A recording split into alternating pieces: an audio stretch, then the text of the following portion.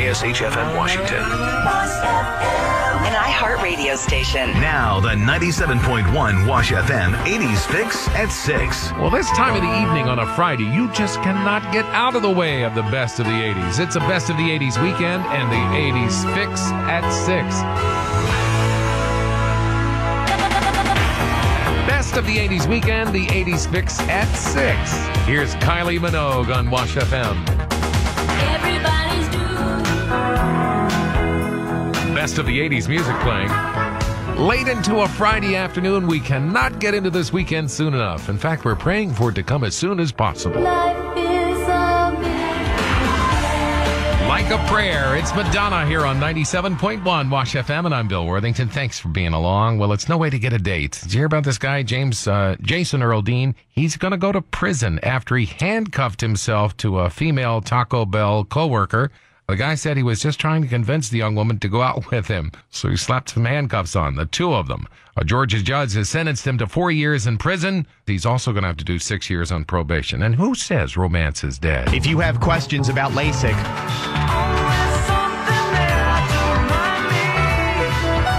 Best of the 80s weekend. Thank you for listening. Wash FM and Bill Worthington with Journey. George Benson on Broadway here on Wash FM, and I'm Bill Worthington. Thanks for being along. Well, Junior could soon be doing some web surfing while on the potty, the iPotty, on display at the International Consumer Electronics Show in Las Vegas. What this thing is, it's a high tech take on toilet training. Your iPad attaches to the plastic iPotty. Uh, Junior can play with the apps while taking care of business. The iPotty will go on sale in March, sell for about $40. Now, really, do we really need this? I mean, then the poor little guy's leg's going to fall asleep. And then we'll need an app for that. Sleepy's, your mattress professionals. Good afternoon, and thank you for listening. 97.1 Wash FM and Bill Worthington. Here's Adele. There's a fire.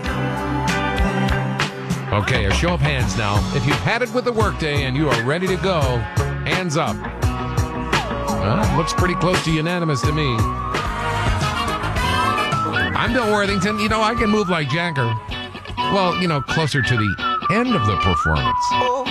Brighter than the sun. That's Colbie Caillat here on 97.1 Wash FM, and I'm Bill Worthington. Is it time to spiff up around your place? Well, let us help you with some good ideas. Win a four pack of tickets to the Home and Remodeling Show at Dulles Expo Center on the weekend of the 18th. Josh Flagg of Bravo's Million Dollar Listing and Mike Baird of Spike TV's Flip Men will be there. Ticket information is at homeandremodelingshow.com.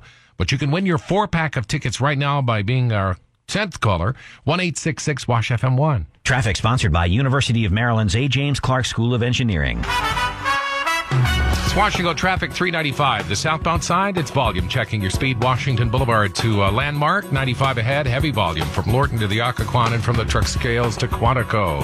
66 on the brakes westbound from the Beltway to 123. Beyond its volume. The GW outbound, heavy. Below speed. 123 to the Beltway. There was an earlier crash. Inner Loop delays, Chainbridge Road to the Spur. It slows 355 to Connecticut Avenue. Congestion on the outer loop from New Hampshire Avenue over to 270. On 270 northbound, it's a slow go from the Beltway to Old Georgetown Road.